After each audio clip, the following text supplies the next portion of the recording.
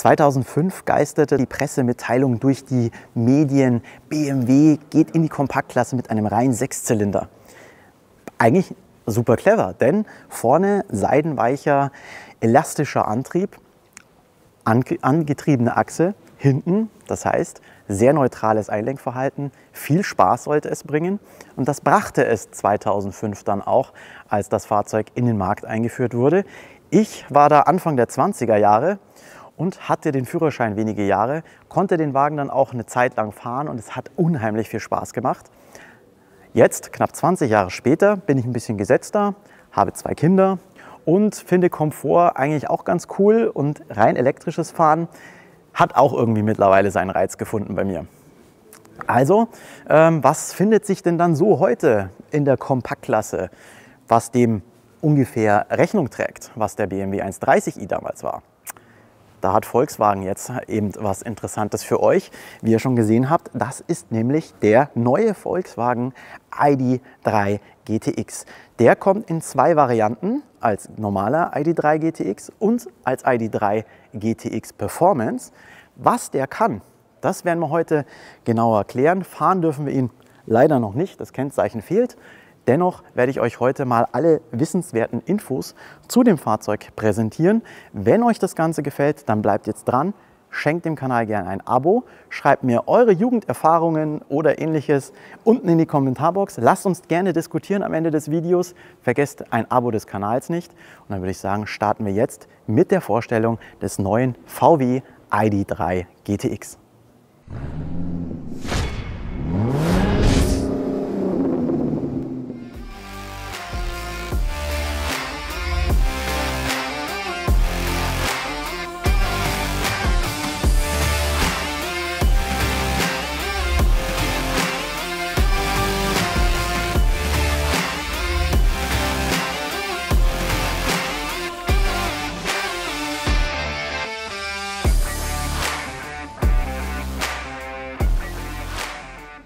Die drei Buchstaben GTX stehen für die sportlichen Aushängeschilder der ID-Familie, was sozusagen bei den Verbrennern die GTI-Modelle waren.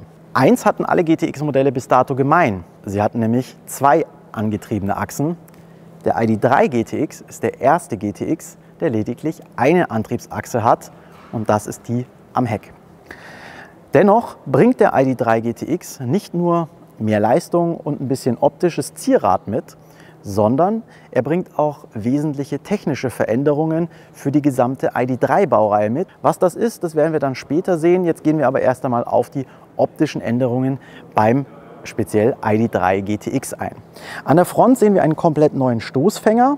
Der hat auch äh, ein neues Tagfahrlicht bekommen hier in einer pfeilartigen äh, Form.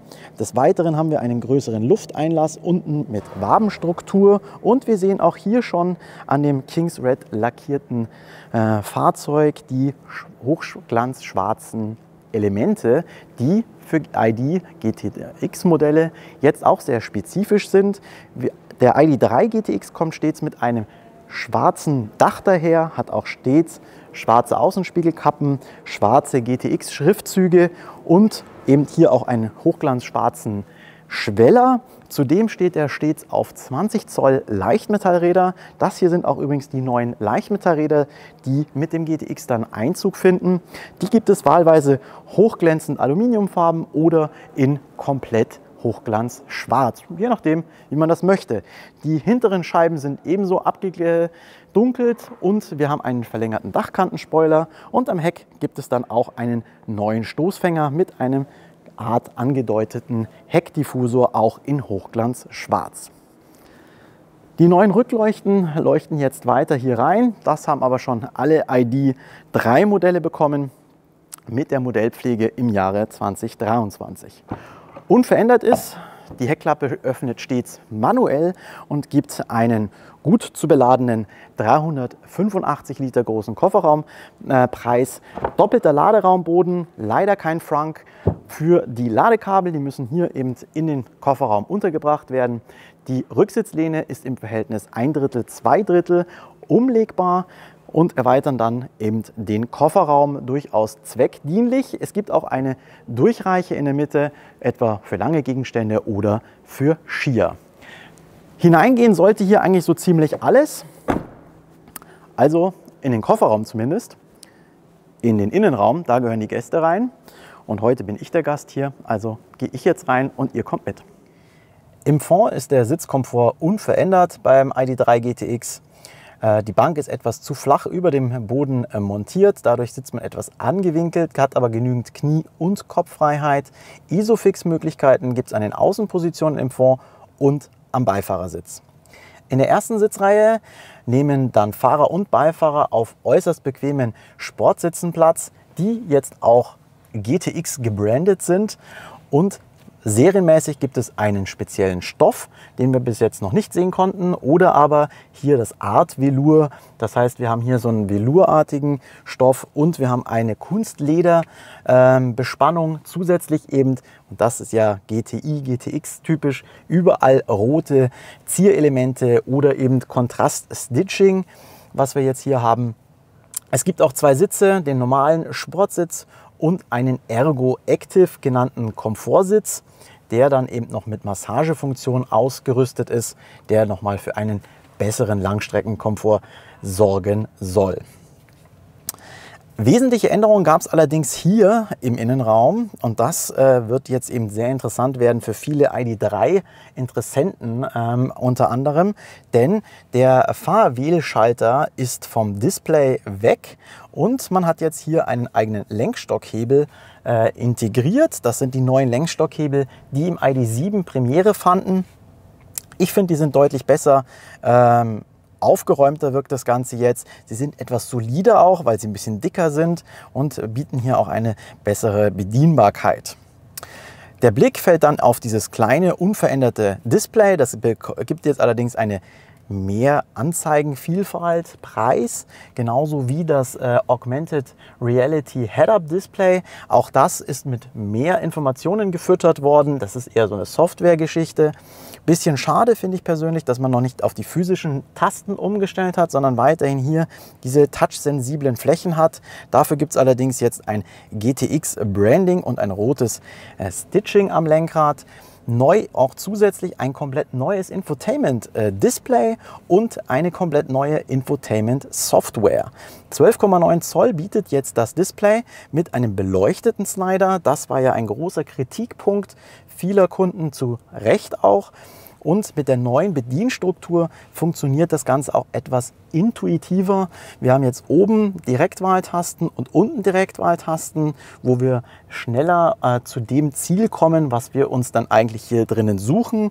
Zudem haben wir einen Home-Button, mit dem wir immer zurückkommen, aber die Hauptansicht ist weiterhin geblieben mit großen Kacheln, sehr bedienerfreundlich. Während der Fahrt kann man da auch ganz gut und zielsicher, vor allem ohne Ablenkung, gut drauf zugreifen. Das System hat jetzt auch eine schnellere Chip-Technologie und funktioniert auch deutlich schneller in der Berechnung, wie wir sehen können. Alles funktioniert sehr reibungslos.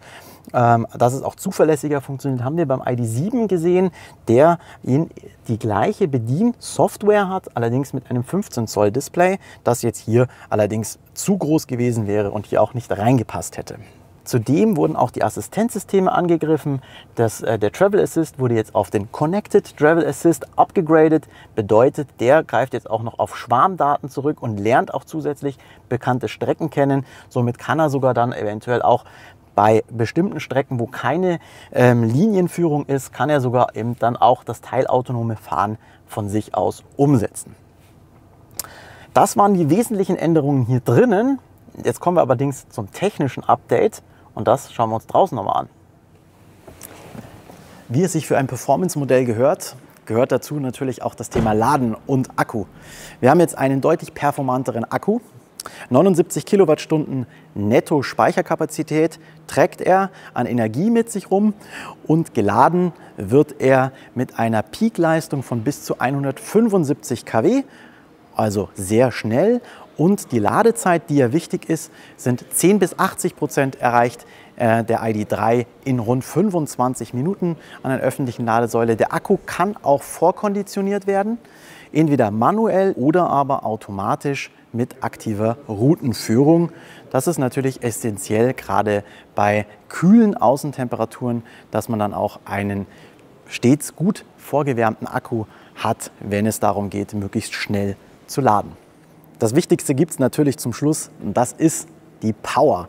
Die APP 550 genannte Elektromaschine am Heck leistet im GTX-Modell 210 kW, 286 PS nach alter Währung, 545 Newtonmeter ist auch beiden gemein, dem GTX und dem Performance.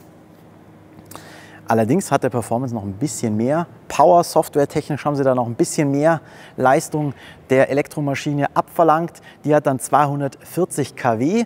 Um jetzt das Ganze dann in noch weiteren Zahlen, Daten, Fakten zu liefern. 6 Sekunden von 0 auf 100 der Standard ID3 GTX. Der Performance darf in 5,6 Sekunden auf Tempo 100 beschleunigen und der Performance darf auch etwas schneller in der VMAX laufen. 180 km/h der ID3 GTX und der Performance ist das erste Modell der ID-Familie, das 200 Stundenkilometer laufen darf.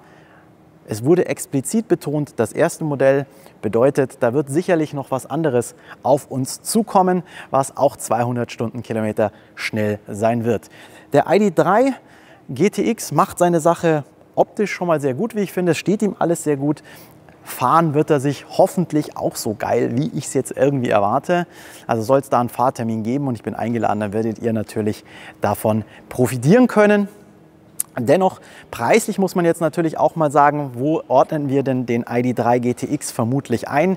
Es wurde natürlich jetzt in diesem frühen Stadium, wo wir das Video hier drehen, noch kein Preis kommuniziert. Aber wenn wir mal so ein ID3 äh, Pro S nehmen und ein bisschen die Ausstattungsoptionen mit reinrechnen, die der ID3 GTX ab Werk mitbringt, plus eine größere Batterie, rund 80 PS mehr Leistung, deutliches Drehmoment, schnellere Ladeperformance, verbessertes Infotainment-System. Ich glaube, ihr ahnt, was das bedeutet, oder? Das wird teuer. Ich rechne mal mit einem Einstiegspreis von nicht unter 55.000 Euro für den ID3 GTX. Die Performance-Variante würde ich jetzt einfach mal schätzen, dass die dann noch mal gut 3.000 Euro mehr kostet, zumal die GTX Performance Variante ab Werk unter anderem nämlich das essentielle ähm, adaptive Fahrwerkssystem mitbringt, das jetzt auch das sogenannte Sport DCC ist. Also da ist auch hier fahrwerkstechnisch nochmal nachgelegt worden. Das Fahrzeug wurde auch hier nochmal angepasst und soll dann eben auch wirklich viel Freude am Fahren bereiten. Und da sind wir auch schon wieder beim eingangs erwähnten Thema Freude am Fahren. Das war eben tatsächlich damals der Leitspruch bei BMW. Den hat man aber aufgegeben. Jetzt wäre er wieder frei. Vielleicht wäre das was für den ID3 GTX. Schreibt es mir unten in die Kommentare, was ihr zum ID3 GTX sagt. Ich bedanke mich, dass ihr reingeklickt habt. Ich bedanke mich beim Daniel hinter der Kamera und äh, wünsche euch jetzt noch einen wunderschönen Tag. Sage Tschüss und Servus, euer Ubi.